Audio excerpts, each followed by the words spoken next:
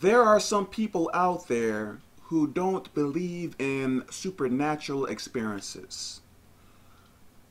They don't believe in some people out there that don't believe in God giving you supernatural experiences, visions of heaven, hell.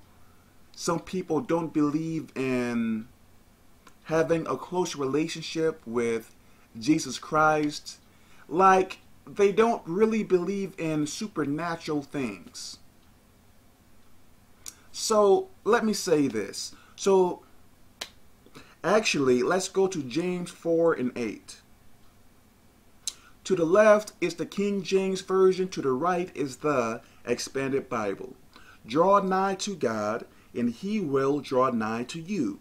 Cleanse your hands, ye sinners, and purify your hearts, ye double minded. So, what does this mean? Stay away from sin and draw closer to God. What does it mean to draw closer to God? Read your Bible more. Stay away from sin. Go go on a fast where you are not eating or drinking anything. Pray more. This is how you draw closer to God.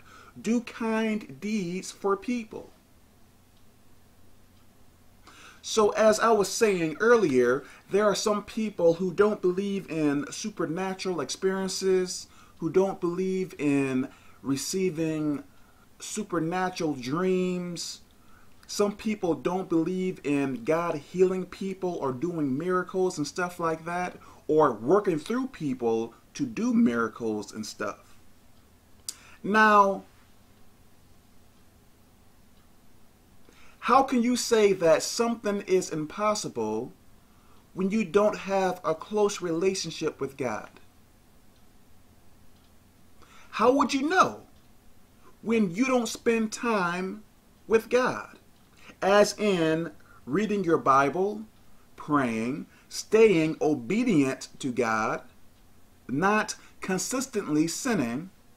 So, praying, reading, reading your Bible, fasting, and doing kind deeds for people. If you are not seeking God, how do you know what is possible and what is impossible? Let's say this. Let's say that there is this guy that I speak to all the time, and you know, I call this guy or, you know, we just hang out and stuff like that. And I come to you and tell you things about this guy. Then you tell me what I am saying is not true. But you don't spend time with that guy. You don't really talk to that guy, but you are still trying to tell me what is true and what is not true. Does that make any sense? How can you tell me anything or how can you tell me what I am saying is not true when you are not spending time with that guy? Okay, same thing with Jesus Christ. You are trying to tell me that my supernatural experiences or other people other people's experiences is not true or God healing people is not for real and stuff like that, but you don't really have a close relationship with God. How do you know what is possible when you are not spending time with God? Well, Kevin, you know, I never heard of a person really being healed. Well, you are having trouble with the basic things of God. You are, chances are, you are consistently in sin. Your faith is very weak. So, if you can't do the basics of God, how can you sit there and point your finger and say, you know, God is not healing anyone or God is not healing through people or like the working of miracles and stuff like that is all over with. How can you say that? when you don't have a relationship with God? How can you say that what this person is saying is not true when you don't really know God? Because you don't serve Him. Think about that. Why doubt something that you don't know anything about? For instance,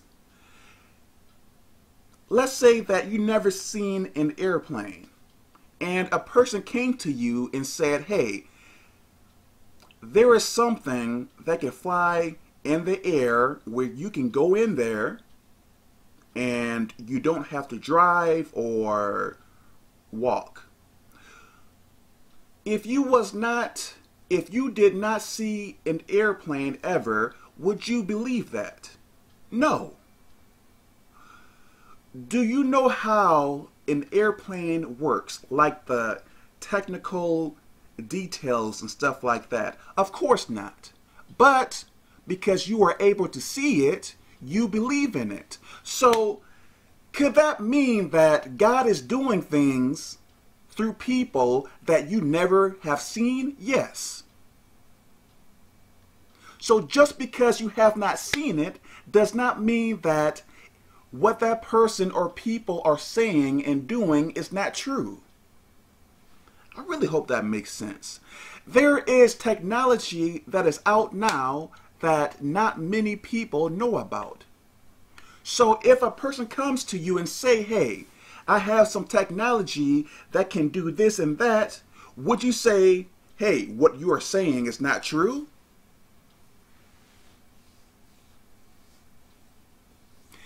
There are many things that we all don't know.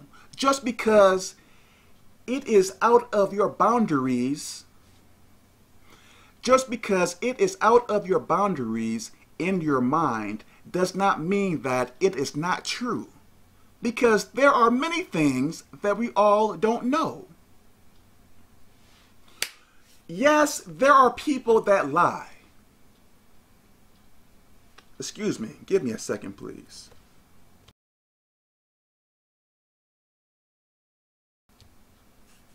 Yes, there are people that lie out there, of course, and you have to be careful of that. But if something seems far out, and like I said before, you can't even do the basics of living for God how can you speak on anything? Think about that. And let me say this too. Like many people said, may say about other teachers and preachers and stuff like that, that, hey, this person over here is a false teacher or a false prophet and stuff like that. Many of the people that are saying this are in sin. So how can you say who is a false teacher or a false prophet when you are not even serving God? You are having a difficult time serving God, but you are the one that is criticizing people that are out there teaching and stuff like that. Makes no sense and you are calling up names and saying this person right here is wrong and that person over there is wrong. But you are still in sin. Like, you are consistently sinning. But you are trying to critique people when you are still in sin. Does that make any sense? You are critiquing other people, but you have all this sin and not past sin, but you are constantly sinning. But you are trying to inform other people who to listen to and who not to listen to. Makes no sense. How about you get out of sin, then, if anything, teach people the right things other than just putting people down. I pray that makes sense there. So, just because you never experienced it, or your mom and dad never went through it before, or, you know, I've been in church for 20 years and I never had any supernatural experiences. Well, maybe because you are not serving God in the right way. Maybe you are not praying enough or praying praying in the right way. Perhaps you are still lukewarm. Yes, there are people that go to church so much and they are still lukewarm. Your relationship with God is not dependent only on how many times you go to church because sinners go to church. But your relationship with God is dependent upon how much you pray, how much you fast, how much you read the Bible, so on and so on. Not just on how much you go to church. Because many people go to church, but how many people at church are really serving God? Not that many. Because once church is over, you need to be at the house researching more about God, not just saying, well, you know, I went to church on Sunday and that's it. My researching or my listening or my participation with God is over for this week because I went to church. So next Sunday, that is the time when I am going to read and pray. That is why you are a weak Christian or a lukewarm Christian because you can't just serve God on one day. I am all over the place. So,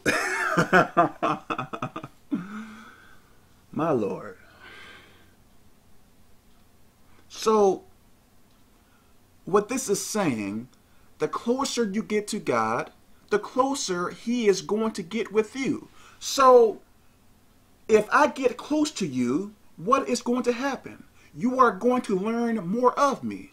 You are going to see things that ordinary or other people don't see in me. Well, if you get closer to God, the same thing is going to occur. You are going to see things, you are going to experience things that most people don't see. Why? Because they they refuse to get close to God. Makes sense, right? Because think about in your own personal life.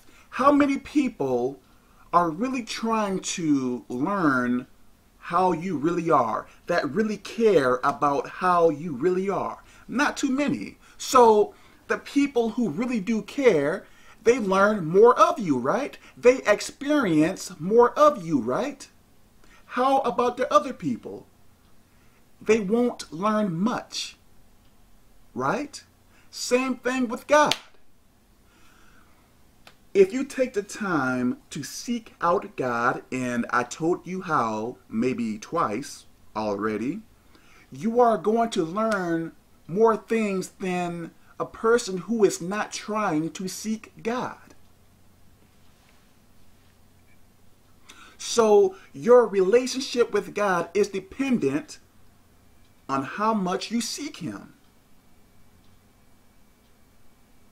So if I am not praying like you, let's say that there is a person that pray six hours a day and read the Bible six hours a day.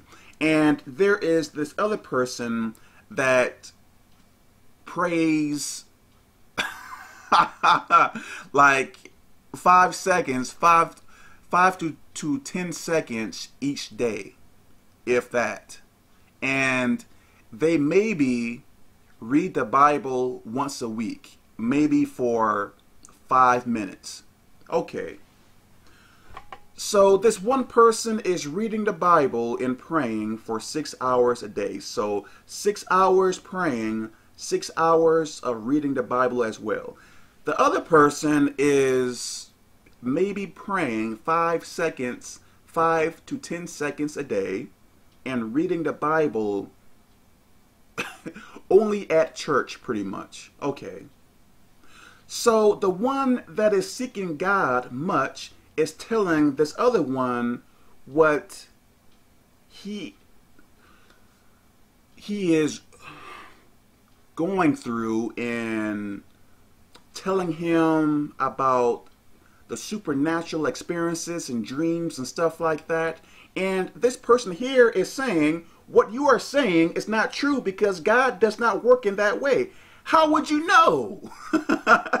when you are only praying for five seconds a day and not really reading the Bible, how would you know? You have no relationship with God.